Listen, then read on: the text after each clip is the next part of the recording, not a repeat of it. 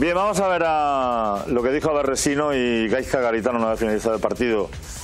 Un poco la crónica de, un equipo, el Eibar, que tuvo que venir a romper su racha en Granada, toda posible en Granada, también en este caso. Venían de perder ocho partidos consecutivos, haciendo un récord, ¿no? En, eh, prácticamente en, en la historia reciente del mundo de la primera división. Bueno, pues rompen ese récord en Granada y el Granada evidentemente es un equipo que adolece de falta de gol fundamentalmente yo creo que en eso se centra en esa mala fortuna la, la alocución de, de Alarresia eran unos partidos que hay que ganar, sí o sí, ¿no?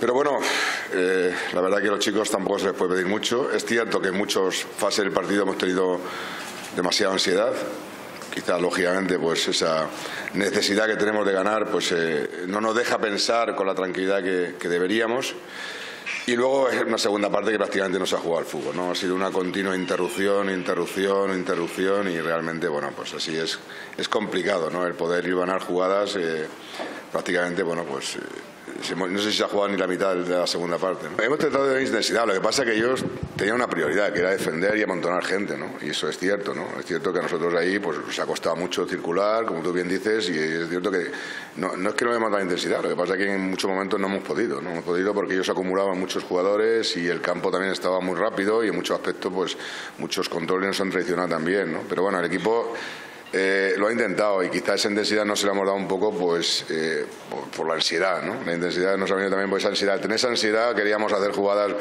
eh, excesivamente arriesgadas, ¿no? Y yo creo que eso ha sido lo que nos ha traicionado más, ¿no? Bueno, yo no quiero entrar en conjeturas porque lo que está claro es que cualquier cosa que diga yo ahora pues, pues puede ser peligrosa, ¿no? Pero vamos, yo voy a quedarme con que realmente ese, ese, partido había que haberlo prolongado como mínimo siete minutos o ocho minutos, porque es imposible estar tantas interrupciones en un campo de fútbol. ¿no? Aunque la situación es difícil, tenemos que levantar la cabeza, es que no nos queda otra. ¿no? Yo creo que ahora mismo el equipo está dolido, pero tenemos eh, una semana por, por, medio que no va a haber competición y tenemos que seguir trabajando, ¿no? seguir trabajando y seguir creyendo en nuestra obligación y tenemos que hacerlo con una afición que nos está dando unos ánimos tremendos. ¿no? Yo creo que ahora mismo todo el mundo tenemos que tener la cabeza fría porque es la única manera de salir de una situación complicada. Si perdemos los nervios y nos ponemos acelerados o, empezamos a sacar las cosas de, quicio, seguramente iremos a peor. Somos el equipo que menos goles ha conseguido en el campeonato, ¿no?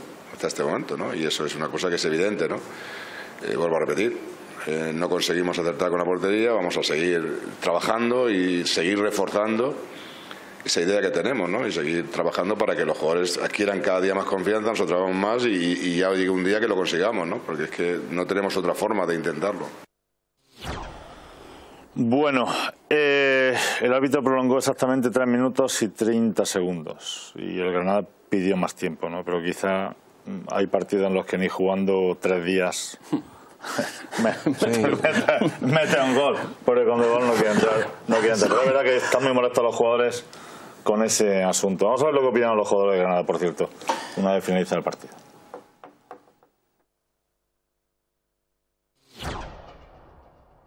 Tres minutos después de hacer seis cambios, que ha entrado la camilla por un jugador, que también ha entrado eh, los doctores por, un jugador también que se añadan seis minutos, ellos a nosotros nos piden mucho respeto, ¿no? que no levantemos los brazos, que, que los respetemos a ellos porque nosotros entendemos que ellos también son personas y que, es complicado, ¿no? hay mucha presión, y, pero creo que, que a veces a nosotros no, no se nos respeta. ¿no? Queda 10 partidos y todavía no estamos muertos. Eh, intentaremos, el próximo partido vamos al Bernabéu, no será fácil, pero tenemos esperanza y y esperemos puntuar eh, en todos los partidos que nos quedan. Esto es currar y una vez eh, y con confianza. Da igual que pita la gente, que hay que respetarla porque al final es soberana y, es lo que decide, pero al final el jugador se tiene que atrever. Yo tiro, se me va arriba, pues oye, pues es lo que hay. Y otros días ir a puerta, pero hay que tener confianza y tener personalidad para, para afrontar esto. Es lo que necesitamos, jugadores con personalidad que se atrevan y que, y que crean en, en esto. Eh, ahora mismo no estamos para agachar la cabeza, no estamos para para lamentarnos de que se me fue un control. No, no, pues si te va un control, luego lo intentas, porque yo confío en todos mis compañeros y eso es la, la, tónica de todos, es estar todos juntos. Y, ayudarnos unos a otros y, bueno y evadirnos un poco del entorno. Al final hay, hay jugadores que les afecta la presión otros que no. Esto es fútbol. Bueno, vamos a ver de verdad que, que Colunga tiene razón y todo el mundo abstrayéndose un poco de la situación puede seguir remando para ganar partidos. muy bien porque yo creo que ha hecho hincapié mm. eh, en que el Granada jugó peor porque realmente la ansiedad que tienen los jugadores en ese tipo de partidos, algunos lo notaron. ¿Os dais cuenta las explicaciones de cada uno, especialmente Adrián, que además ha sido el último, el que nos queda más reciente, en base a qué hace la explicación del buen o el mal rendimiento siempre? En, factores psicológicos, que son los que realmente pueden cambiar la dinámica, la dinámica en estos momentos de un partido. La presión, habla de presión, de confianza, de atrevimiento, de estar juntos, de unidad del equipo, todo eso. Y si escuchas cada una de las... De la, Abel decía, es que es la urgencia que tenemos de, tener que ganar un partido. Nadie habla de, es que las líneas están estrechas, están anchas, la gente se abre, la gente prácticamente nadie quieren explicar el rendimiento en base a temas psicológicos y luego sin embargo lo dejan de la mano de Dios. Vamos al podium, el podium con Grupo Sport. Podium patrocinado por Grupo Sport. Tiene los siguientes nombres. Yo para mí Alanión fue el mejor del Granada, defendió bien, sin ningún problema, eh, desde su costado Atacó bien, tuvo incluso alguna oportunidad para marcar el gol, que fue el que marcó el gol de Granada en Eibar, recuerden. Esa jugada individual por banda derecha. Ayer creo que el portero hizo muy buen partido y evitó la derrota del Granada en acciones puntuales. Creo que fue su mejor partido con la elástica rojiblanca, el guardameta vasco.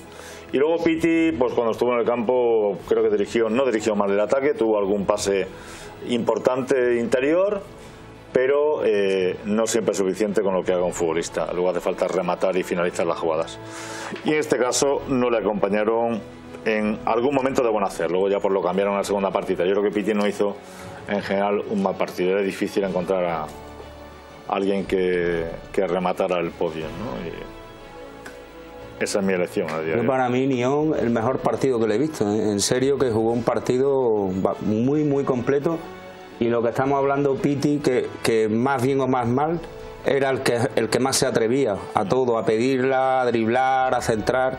Y, estamos pidiendo eso y, al final lo quitó, ¿no? Cuando, cuando era el jugador que más estaba arriesgando, quizás. ¿Alguna opinión más? el tercero podría haber puesto mucho. Llegado el momento, esto tiene poca importancia, entre tanto sigamos teniendo los resultados que tenemos no, ¿De acuerdo, Santi, más o menos?